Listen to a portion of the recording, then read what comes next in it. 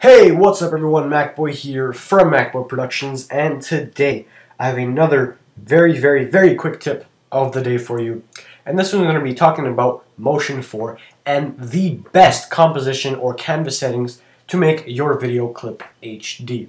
Now, in Motion 4 or any video editing software, any high-end video editing software like After Effects or whatever you want to call it, Final Cut Pro, they all have composition settings, different composition, composition settings depending on what kind of uh, project you want to make. So there are different sizes, there are different frame rates, and this video is going to be specifically talking about what settings you can use to make it make it the most out of Motion 4. So, all right, I just got Motion 4, and you know what? I have to say it's amazing. And I've set my preset to 1280 by 720 in Motion. Basically, what every time I open up Motion, it's gonna my canvas size, my this black area over here, is gonna be 1280 by 720 pixels, and that is what I use every time to make my videos HD.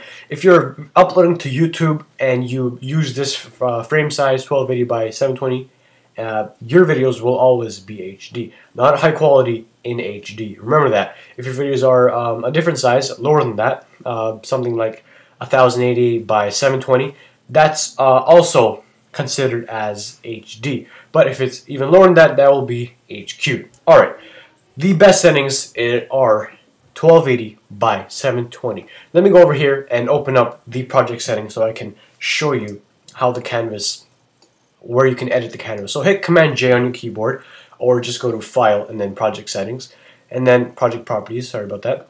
And uh, here you have the width and then the height. Again, I told you it is 1280 by 720. And the preset is Broadcast HD 720p. Alright, that is my preset. Click on that and then you can click on Make Settings Default uh, when you're opening up Motion for the first time. Alright, everything else I usually uh, leave the same. My frames, however, uh, I leave the duration to about 600 frames which is uh, not too long. It's about five or six seconds. I'm not exactly sure of the math right now, but it is uh, fine.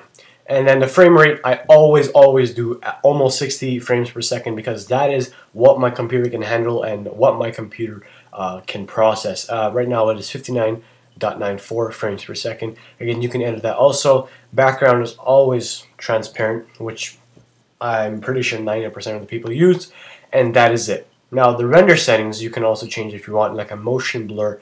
I'm sure you all know what motion blur is from my previous video on ScreenFlow. Basically what it does, it makes the overall video look more professional, meaning the movement of the objects in the video clip, make it more smooth, make it more uh, transitional, make the transitions much better. Uh, and you can also change the shutter angle and then the reflections from 2 to 4 or 0. Alright?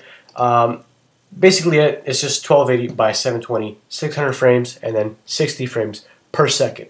That's it guys, in Motion 4, that is the settings to make your videos HD on YouTube and even on most computers uh, around the world. Alright guys, thank you very much for watching. This has been MacBoy from MacBoy Productions once again. Don't forget to rate, comment, and subscribe. And guys, over there to the right of this video where you click on more info, you will find my Twitter, my blog, and my business email where you can contact me for any questions, concerns, comments, or suggestions. Once again, guys, thank you very, very much for watching. I will see every single one of you next time right here on MacBoy Productions.